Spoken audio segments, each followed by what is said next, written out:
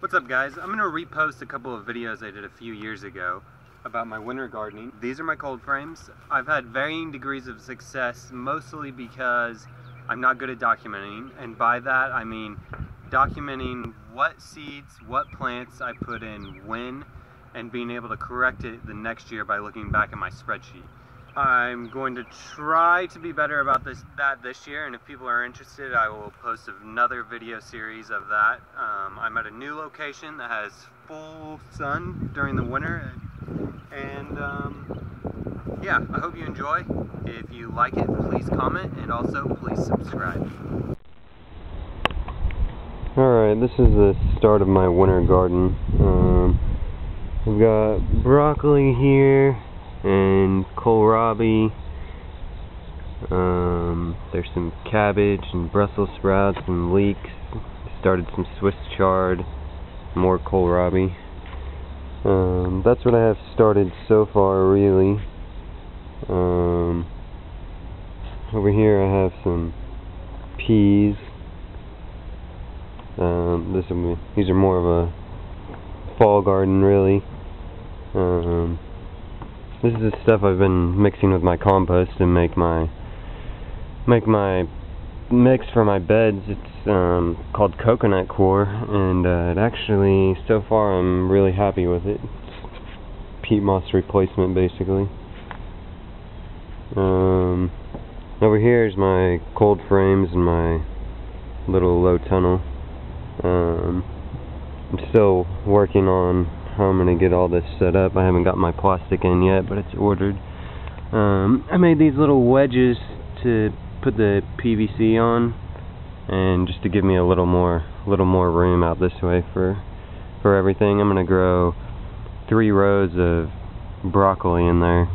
That's the plan anyways, and then I'm not real sure how I'm going to attach the plastic, but I think you can get this three-quarter PVC and um, and just cut a little section out of it.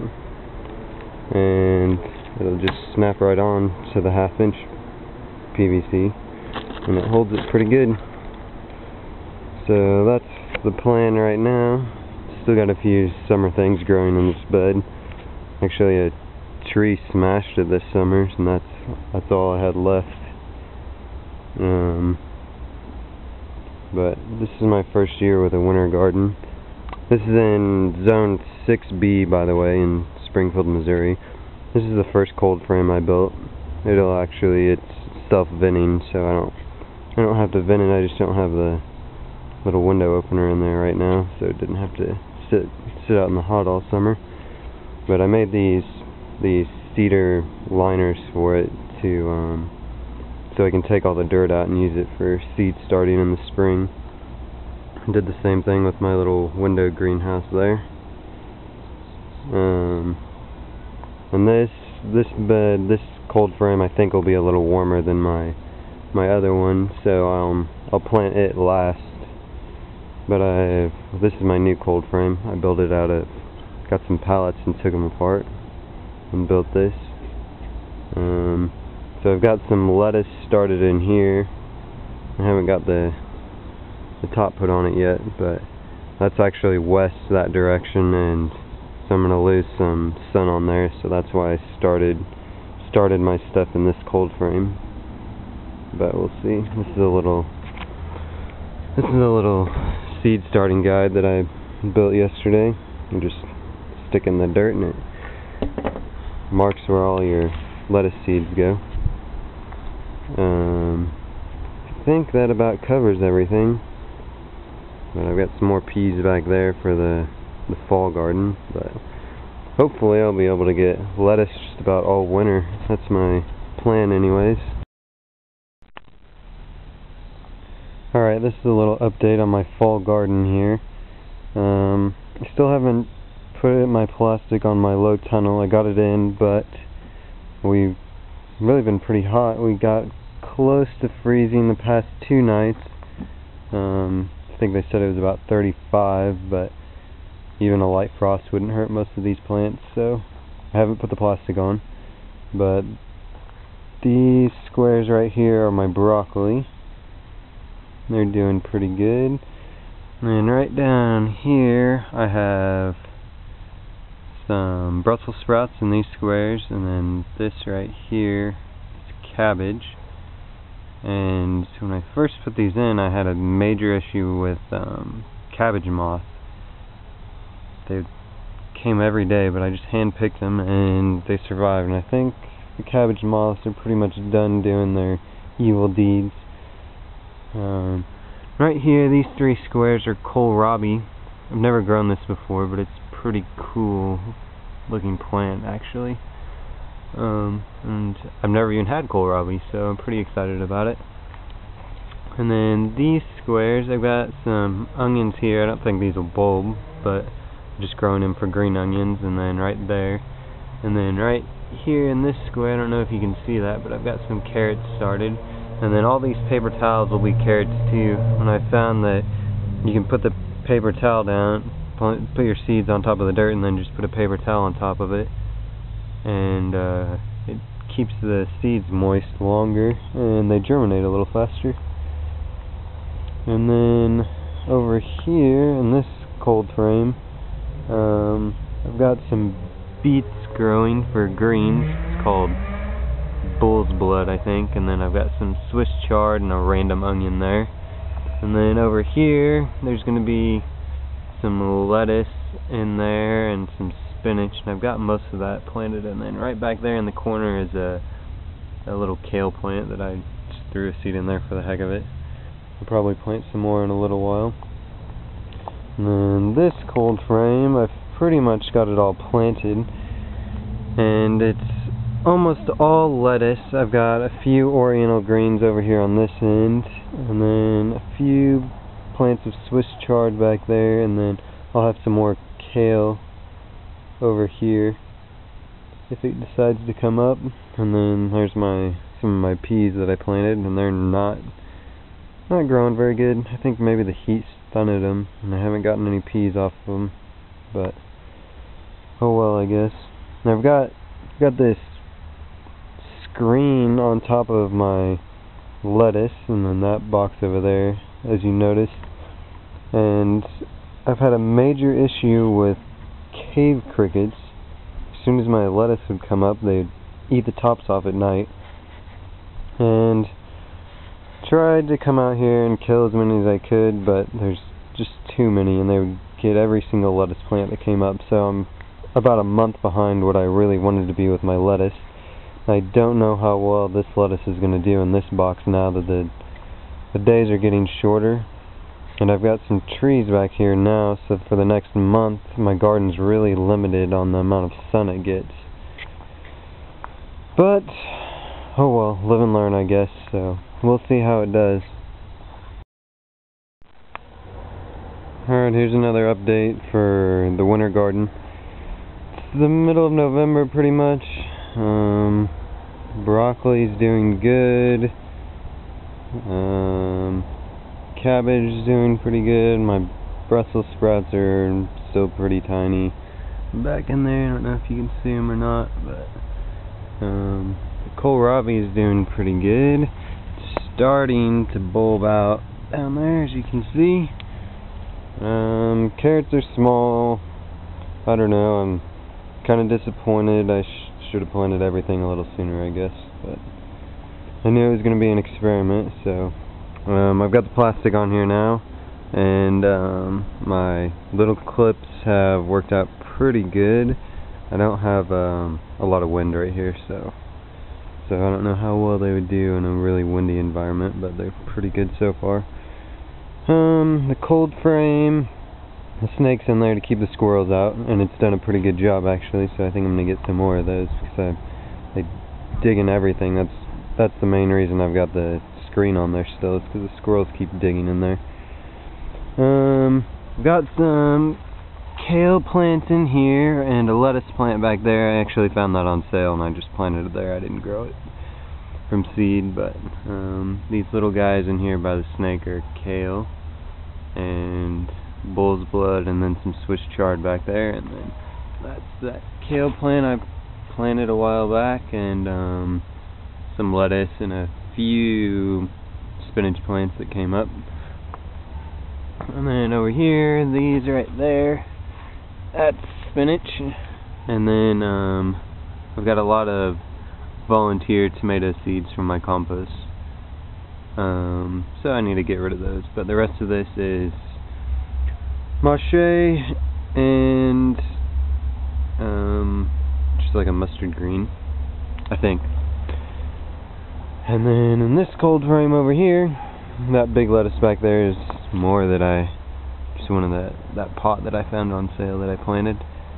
Um, so everything in here you can see it's not not making a ton of progress, but oh well, I'll get some food out of it anyways, and I'll know for next year. And then back there in the window greenhouse, um, on the bottom there, that's mostly Oriental greens, and then up top I've got some lettuce and some spinach. Um, but should have planted everything a little bit earlier. But I should get some food out of it either way. Hopefully the broccoli will head and the cabbage will do its thing too, so we'll see.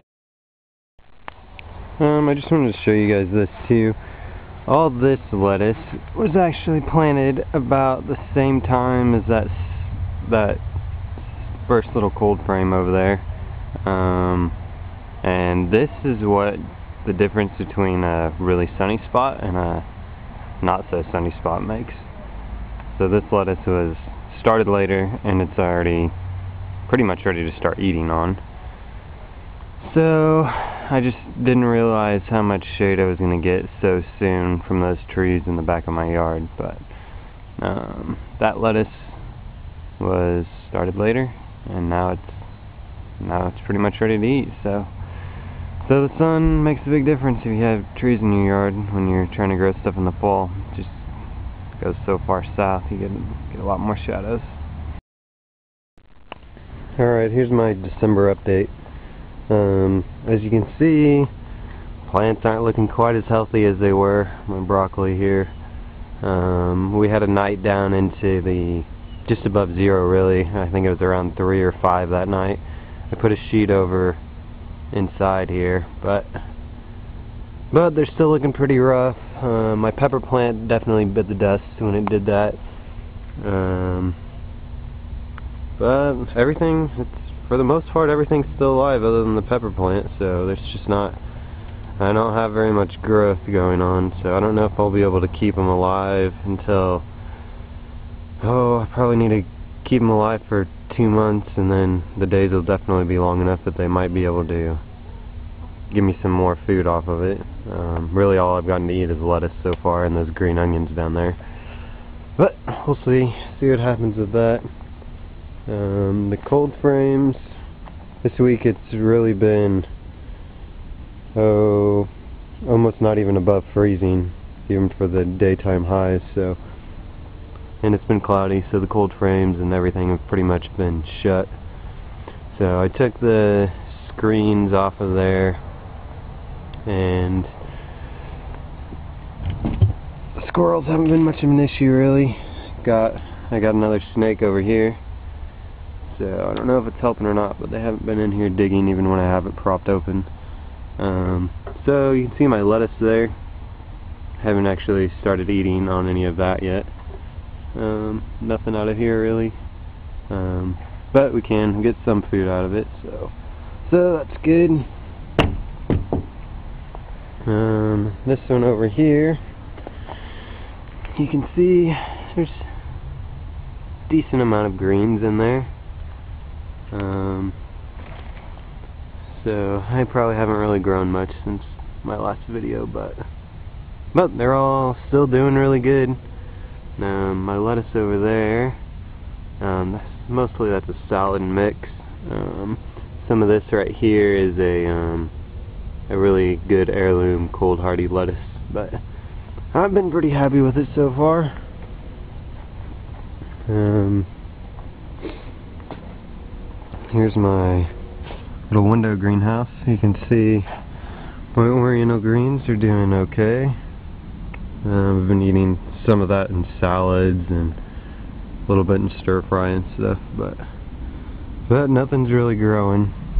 It's just hanging out kind of. But gives us some food. And you can see a couple little spinach plants that came up, but they're they're not doing much. And my lettuce up here, don't know how well you can see that, but that's really, we've been eating quite a bit off of that. It's that cold hardy lettuce that I got. I can get the name if any of you guys want it, but it's done pretty good. Even in the really cold weather, it's still still hanging in there. Looks good, so tastes good too. Um, I haven't been watering very much. Maybe maybe watered once or twice since my last video, so everything's doing pretty good. But those tomato plants that I needed to pull out of here, I mentioned last time, um, when it got really cold they just died, so saved me some work I guess. Alright, I guess that's it. Alright, here's an update for February. Um, January was pretty mild, no major changes, but February has been a beast. We've set a record low a couple nights ago, negative 10 Fahrenheit. Um, I've been putting like a sheet on top of the broccoli, kind of a floating row cover. Um, but it looks like my broccoli survived to me. Time will tell. Um, we're supposed to finally get some warm weather. We're supposed to get into the 60s this week, so um, I guess we'll find out. And the days are getting longer. Think they're about 10 and a half hours right now. So it should be long enough to start growing. Um, so actually most stuff has done a lot better than I thought it would. The carrots weren't even covered and it was negative 10 and they're, you can see, they're still small but they're doing fine. The kohlrabi just kind of got dark colored. Um, I don't know if it'll be alright or not. And then got my cabbage and stuff over there and it looks okay too. So maybe I'll get some early spring vegetables. And cold frames, you can see spinach and the lettuce, it was in the ground, not even fazed. Um, the oriental greens that were up in the air, you can see they're all pretty much dead. I think I might have brought some bugs in with that lettuce I got from a greenhouse this fall. Uh, so I think that might be the reason that's not doing so good. Um, you can see that first kale plant I planted there. It's doing fine, and that little piece of Swiss chard is doing fine, so... And, again, it was negative 10 a couple nights ago. Um, and this cold frame had about three or four inches of snow on it. Um, so I don't know if that helped protect it or or what, but it but it all survived. Um, this cold frame also doing pretty good. You can see the oriental greens in here that were in the ground. They did fine. Um, some of them are going to seed there, and most of the lettuce is fine. It started growing again, uh, now that the days are getting longer. So I've been harvesting, eating salads here and there. But, uh, I definitely need to get stuff in the ground a little sooner and get it a little bigger for next year, but I would say growing stuff in the winter was uh, a success, and I will definitely continue to do it because it really does work well. Um, but I should start seeing the next month. I should start really seeing some more growth, growth happen with all this stuff. Um, but Alright, this is going to be my last update. Uh, my broccoli has officially survived winter, including one night down to negative 10. Um, if you look close here, you can see I'm starting to get some purple heads on there. Um, my cabbage also survived, and it's starting to head. Kohlrabi survived, carrots survived, and uh, some onions that I've been eating green onions for also survived. Um, over here, kale survived. Uh, spinach and lettuce obviously all survived. Mache survived. All of it's doing good. And I've been eating this lettuce and spinach. I've been having solids just about daily, so you can't even hardly tell that I've touched it. Um, I stuck a few broccoli plants in here that I started from seed a month or so ago. And um, as you can see, all my lettuce in here is also doing really good. My Oriental greens have started going to seeds. I didn't really use them that much. Need to get them out of there. More lettuce over there. Um, overall, I would definitely say this is a big success. Um, this is definitely the earliest I've ever had any any kind of greens like this, especially this growing this well. Um, I will do it next year for sure, and um, I'll just start everything a little sooner. I guess this is it for uh, my winter gardening project. Uh, this is March 17th, by the way.